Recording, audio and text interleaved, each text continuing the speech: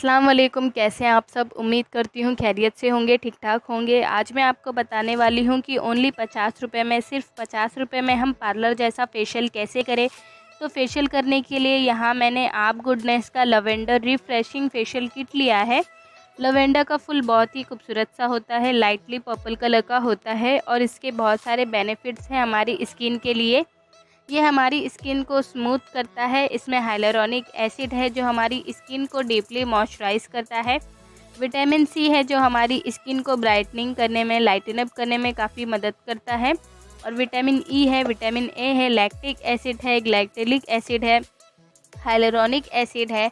और ये हर तरह की स्किन को सूटेबल है, चाहे आपकी स्किन ड्राई हो ऑयली हो या नॉर्मल हो, हर तरह की स्किन को ये सूट करेगा। बात करें इसकी क्वांटिटी की तो 34 ग्राम हमें इसकी क्वांटिटी मिल जाती है और इसके डायरेक्शन दिए गए हैं कैसे हमें इसे यूज़ करना है। Step one two three four five five step हैं इसके। हमें कितने देर करना है, कैसे यूज़ करना है, इस पर सारे डायरेक्शंस दिए गए हैं। और इसकी बहुत सारी वेराइटीज़ हमें मिल जाती है, जैसे कि golden diamond dragon fruit charcoal cucumber वगैरह। बहुत सारी वेराइटीज़ हमें इसे देखने की मिल जाती है। बहुत सारे फ्लावर एंड फ्रूट्स की वेराइटीज़ है, आप अपना कोई भी मनपसंद वेराइटीज़ चूज़ कर सकते हैं।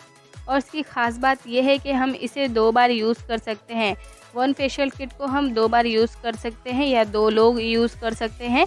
इसका फ़र्स्ट स्टेप क्लिनज़र होता है, सेकेंड स्टेप स्क्रब होता है, third step cream and fourth step mud marks and five step moisturiser. इसे हमें अच्छे से अपने फेस पर अप्लाई करना है और इसकी मैंने तीन फेशियल किट मंगाई है। ये पैक ऑफ़ थ्री है मेरे पास तो पैक ऑफ़ वन निकाल देती हूँ मैं और इसकी बता देती हूँ। इसकी क्रीम की क्वांटिटी हमें अच्छी खासी मिल जाती है बाकी फेशियल किट से जबकि हम इसकी सारी क्रीम्स को दो बार आराम से यूज़ कर सकते हैं। तो और इसकी प्राइस की बात करें तो इसकी सारी वेराइटीज़ हमें कम से कम वन फिफ्टी रुपीज़ में मिल जाती है, लेकिन हमें डिस्काउंट में हंड्रेड तक हमें हर फेशियल किट हर वेराइटीज़ की हंड्रेड रुपीज़ तक हमें मिल जाती है। तो इसकी ख़ास बात ये है। तो हम फ़र्स्ट स्टेप करेंगे पहले। तो फ़र्स्ट स्टेप क्लिनज़र है। क्लिनज़र हमें लगाना है फेस पर और अपने फेस की क्लिनजिंग करनी है अच्छे से। क्लिनज़र हमें जेल फॉर्म में मिल जाता है। इसकी ये जेल फॉर्म में है। वाइट कलर का जेल है ये। और जब हम अपने फेस पर क्लिनजिंग करेंगे, फटाफट से कर लेंगे तो ये हमारे क्लिनजिंग करते करते ये हमें कम से कम तीन से पाँच मिनट तक अपने फेस पर क्लिनजिंग करनी है। और ये एक मैल के तरह जो हमारी स्किन पे डर्ट्स वगैरह होंगे, डर्ट्स वगैरह, धूल वगैरह, मिट्टी वगैरह जमी होगी, वो येलो येलो में ब्लैक ब्लैक करके हमारी स्किन से छूटेंगे। क्लिनजिंग करने के बाद कम से कम पाँच मिनट हमें अपने फेस की क्लिनजिंग करनी है अच्छे से, उसके बाद अपना फेस वॉश कर लेना है। सेकंड स्टेप है स्क्रब। स्क्रबिंग करनी है हमें अपने फेस की। कम से कम फाइव मिनट तक हमें अपने फेस की स्क्रबिंग करनी है। ज़्यादा से ज़्यादा अगर करनी है आपको तो आप टेन मिनट्स कर ले। तो इसका टेक्सचर की बात करें तो इसका टेक्सचर काफ़ी थिक है। और हमने एक बॉल में पानी लेना है थोड़ा थोड़ा हाथ पर पानी लगाना है, उसके बाद स्क्रबिंग करते रहनी है अपने फेस और नेक की। अच्छे से हम स्क्रबिंग कर लेंगे। स्क्रबिंग करने से ये होता है कि हमारे डर्ट्स धूल वगैरह निकल जाते हैं। इसके दो फ़ायदे हैं।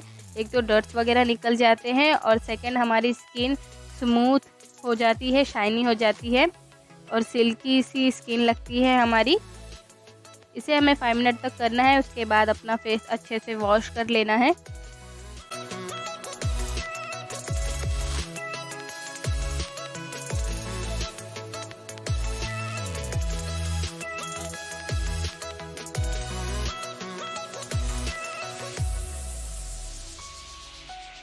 अब थर्ड स्टेप है क्रीम क्रीम है क्रीम का टेक्सचर भी काफ़ी थिक है. अब इस क्रीम को हमें 12 से 15 मिनट तक अपने फेस पर करना है. मसाज करनी है. 12 से 15 मिनट तक हम अपने फेस पर मसाज करेंगे जब तक ये क्रीम पूरी ऑब्जॉर्व नहीं हो जाती हमारी स्किन में. पूरी स्किन में ये क्रीम हमारे ऑब्जॉर्व होना चाहिए. बाकी एक्स्ट्रा जो रहेगा उसे हमें साफ़ कर देना है क्लीन कर देना है. ये क्रीम इतनी थिक थी बहुत ही थिक क्रीम थी। लग ही नहीं रहा था कि ये हमारी स्किन में ऑब्ज़र्व हो जाएगी, लेकिन ये आसानी से मसाज करते करते ऑब्ज़र्व हो गई स्किन में। और इसकी वजह से हमारी स्किन एकदम लाइटन अप हो गई थी। पहले से ज़्यादा एकदम क्लीन लग रही थी और लाइटन अप हो गई थी हमारी स्किन। तो अच्छे से हमें इसे मसाज करना है। इसके लिए भी मैंने थोड़ा पानी यूज़ किया है। और नेक पर एंड फेस पर अच्छे से मसाज की है। देखिए, पूरी ऑब्ज़र्व हो गई है। बाकी जो एक्स्ट्रा क्रीम हमें बची है, वो मैंने रुमाल से साफ़ कर दिया। गीले रुमाल से या गीले कपड़े से हमें साफ़ कर लेना है। टिश्यू भी यूज़ कर सकते हैं आप।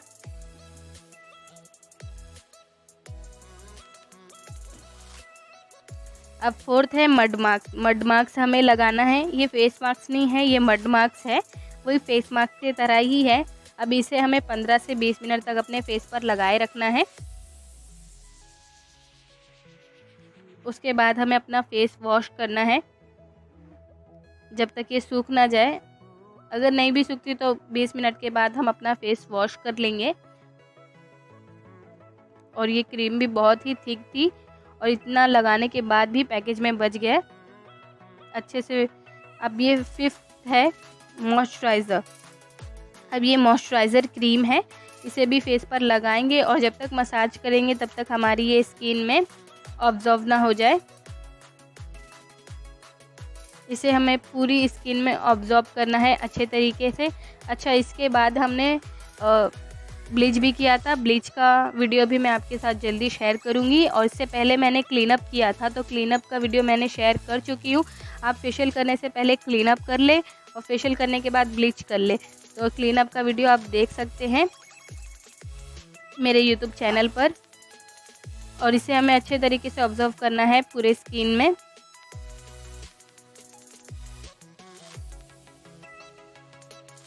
क्लीन अप का मैं लिंक डिस्क्रिप्शन बॉक्स में डाल दूँगी, आप चेक कर लेना। और ब्लीच का वीडियो भी मैं आपके साथ जल्द शेयर करूँगी।